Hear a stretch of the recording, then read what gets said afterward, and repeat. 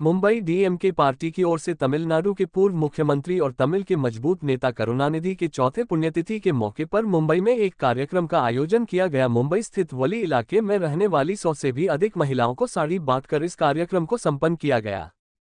इस कार्यक्रम में वीसी के मुंबई ऑर्गेनाइजर सलोम राज, कांग्रेस नेता गोपाल कृष्णन समाज सेवक सुरेश अयर मुख्य अतिथि के रूप में शामिल हुए।